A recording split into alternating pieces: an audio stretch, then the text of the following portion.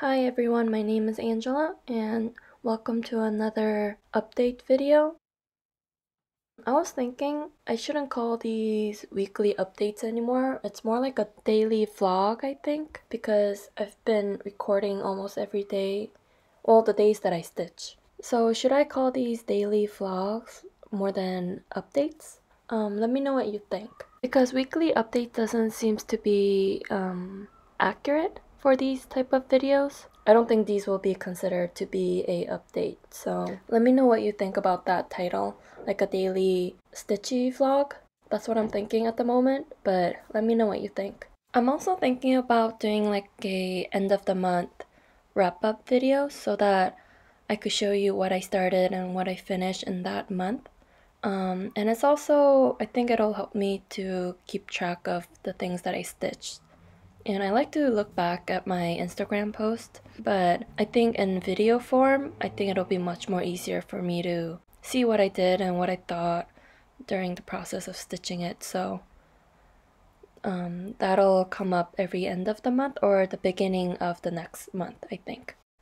So I worked on purple pansies a little bit and the back looks like this. I just don't care about the back as much, so that's what it looks like. So I worked on a little bit on the, the lighter color pansies. So a little progress here, this area right here. So just a little bit of progress. And then I worked on a little bit on tapestry by Ink Circles. So I got, um, so I bought the missing DMC color, so I finished that and then I worked on a little bit on this side here. Not much, but a little progress.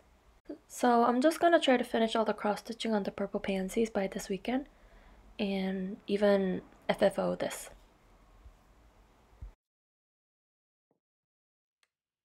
It's Thursday afternoon and I finished all of the cross stitching this morning.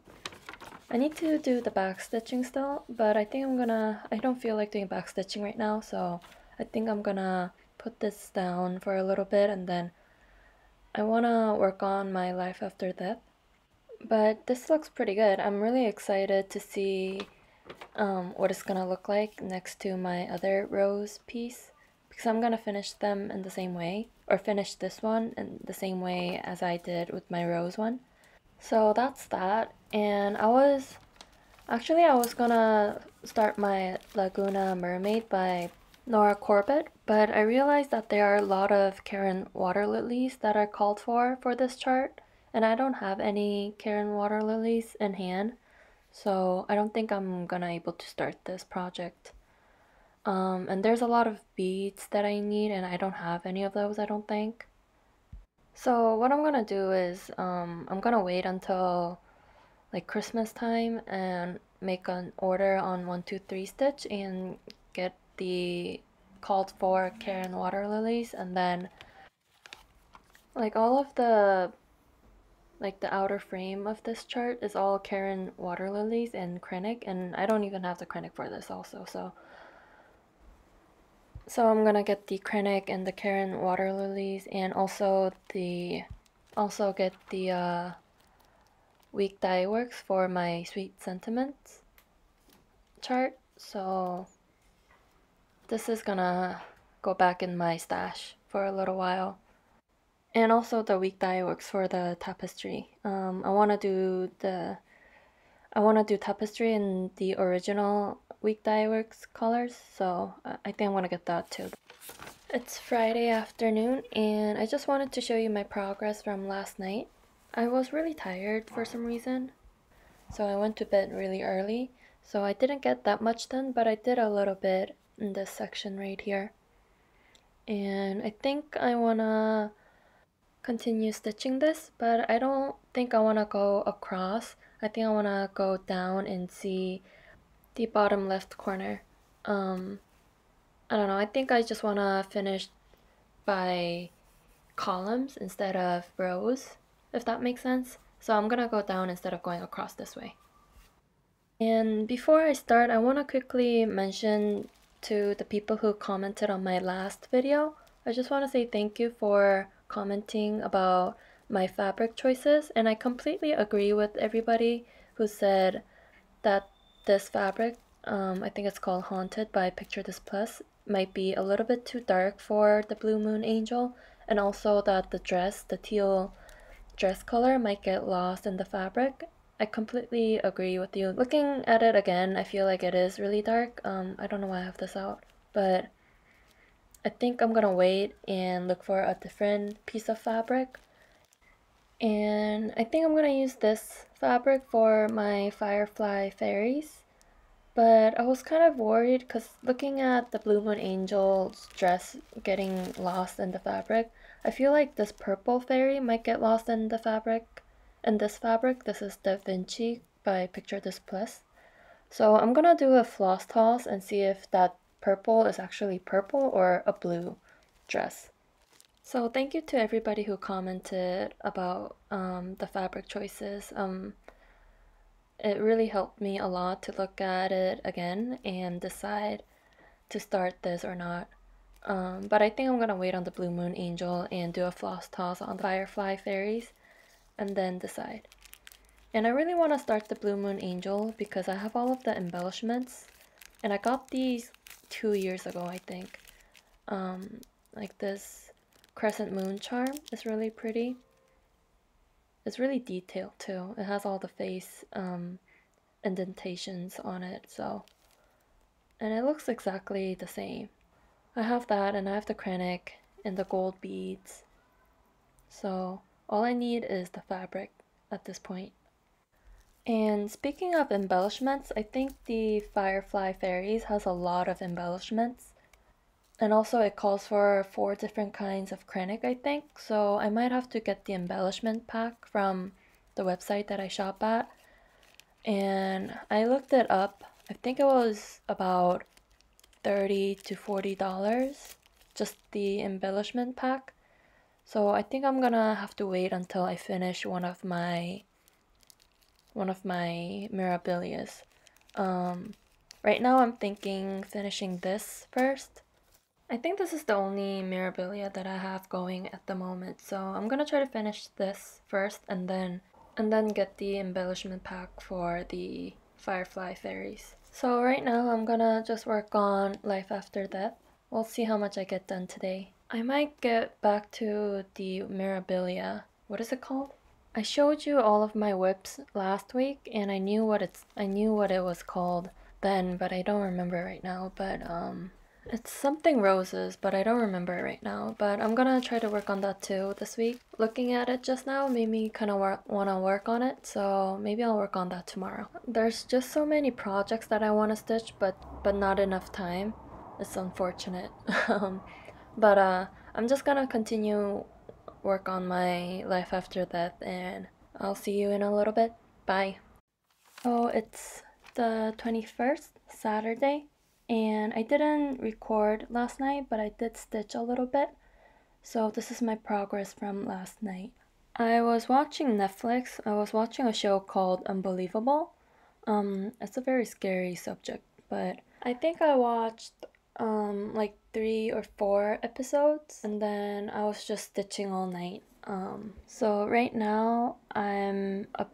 This is where the page ends and I'm gonna try to finish that and go downwards then going across like I said yesterday but um if you look at the chart I'm about right here I'm about right here uh, I don't know what this is it's some sort of mystical animal um looking at it right now it kind of looks like it's holding a flower with a rabbit on top of it but I don't know what that thing on top is though so anyways, that's the part where I stopped and I'm going and then I'm stitching the rest of the page. Uh, let me bring it up close. So this is where I stopped or that's where the page ends and I'm gonna do the rabbit but I did the bat last night and that was kind of fun. So that's where I am with this project. Um, I'm really curious what that is though. It looks like a lion or like a dragon maybe. I don't know. But there's this whale um and this whale is swallowing a person and there's like two people inside with a heart. so that's kind of fun. But I don't think I'm gonna get to that page until I finish the bottom page, the bottom two pages. So, so that's that. Um, I also stitched a little bit on my purple pansies. Um, I did some back stitching because I was working on Life After Death and I had my head down for so long that my neck was aching. So I wanted to hold something small so that I don't have to have my head down for so long. Um, so I did some back stitching. So I did the darker pansies first and that looked fine. Um, but the other two the other two backstitching color were very dark. It called for 718 and 798. And 791 was the one that I did or did use for the darker pansies. But the other two colors were really dark and saturated for what it was on the cross stitching. So I didn't really like these two colors for these back stitching. So 798 was for the white flowers and the 718 was for these two lighter colored pansies. And it was really, um, I just didn't like how it looked. So I took it all out and I found my own colors for it. So I used these two colors. It's 157 for the white flowers and then 209 for the lighter color pansies. And I think I look I think I like that better than the other two options. So if you're gonna stitch this and if you don't like the back stitching color, um, these are just my conversions, I guess. Um, so I still have some back stitching left. I think I need to do the white flowers and then one of the lighter pansies. So I'm almost done. So I'm really happy with it. Um, I'm also gonna try to finish this the same way I did my rose one. Um, I think I did talk about this in my other videos. I can't remember which video, but I did talk about how I'm gonna finish it. Um, let me show you my other rose piece. So this is the rose ornament that I've made two years ago, I think. And this is the um, this is the fabric that I'm gonna use. It's not fabric, it's felt. Um, it's the purple felt that I'm gonna use for the backing. I used red for the other one. I just want to finish it the same way I did with the rose one. So it's the same fabric and I still have the lace and the burlap thing for the hanger and ribbon. So this is gonna be, I think this is gonna be a easy, quick and easy finish. So I don't think I'm gonna have time tomorrow to FFO this, but sometime this month for sure. Um, and I'm also looking at my other ornament. It's a Christmas Santa Claus ornament by Brooke's Books. And it, this was a free chart on our website. And this is Mrs. or Mr. C, I think it's called, and the chart also comes with Mrs. C. And I still have the backing fabric from this ornament. So right now I'm thinking because it comes with another chart for Mrs. C, maybe I'll try to finish that and make another ornament that looks just like this one. And I have the red felt and the green ribbon and the memory thread that I use for the outlining the ornament. So I thought it would be nice to have a pair. And I still have the same cross stitching fabric um, that I used for these two. So I definitely have the materials for it. So maybe I'll do that sometime next month. It's a small chart, so I think I'll have time to finish it before Christmas. So I'm just gonna try to finish all the back stitching today because there's just a little bit left and continue work on my life after death and watch the rest of the episode. Oh, sorry. I'm just gonna finish watching Unbelievable and just stitch on my life after death and I'll update you later tonight. So I was working on my life after death but then I really wanted to finish this because there was just a little bit of back stitching left. So I did finish it. Um, let me get a piece of paper. Okay, I think that's better. Um, so everything is done, like the back stitching is done, the cross stitching is done. All I have to do is iron this and um, FFO it into a ornament. But I'm not gonna FFO this until later because I don't really feel like finishing right now. So, and it's pretty late already. So I'm just gonna iron this and put it in my um, finished pile.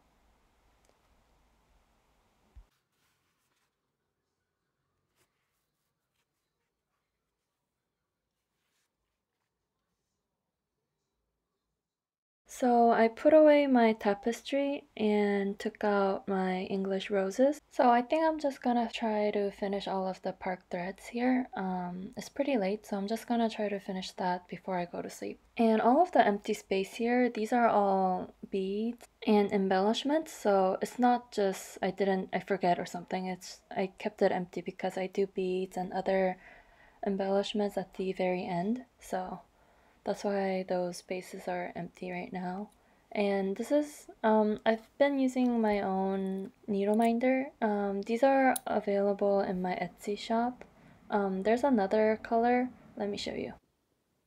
So this is the other color that I have in my Etsy shop. It has the same Swarovski teardrop crystal on a different color shell. I had a problem with the glue that I was using so I had to change the glue because it wasn't the glue that was right for attaching plastic to metal. And one of my subscribers on YouTube um, actually bought a keychain and a needle minder, and she told me that the magnet came off. So I don't think it was the right kind of glue to attach plastic to metal. So I went out and got a glue that was stronger for what I wanted to use it for. So it should be better now. But I'm not gonna say your name because I didn't ask you your permission, but thank you for letting me know about the magnet and the glue. But this is the progress that I've made on my life after death, and I'm almost done with page one. I'm about to go to sleep, but I just wanted to show you a little progress on English roses. So I finished all of the park threads and I think I could finish this by this month maybe. At least the cross stitching. I don't know if I could finish all of the beading but there's just a little bit left. I'm almost halfway done so I think I'm just gonna leave this on the Q-snap until I finish it. Um, and I really love this piece. This is one of my favorite Mirabilias so I really want to get this finished. So I think that's it for this video. Um, I'm just gonna work on this tomorrow and update you on that. So thank you for watching and subscribing and I appreciate all of your comments. Let me know what you think about the title being Daily Stitchy Vlog and I hope you have a great weekend. Bye!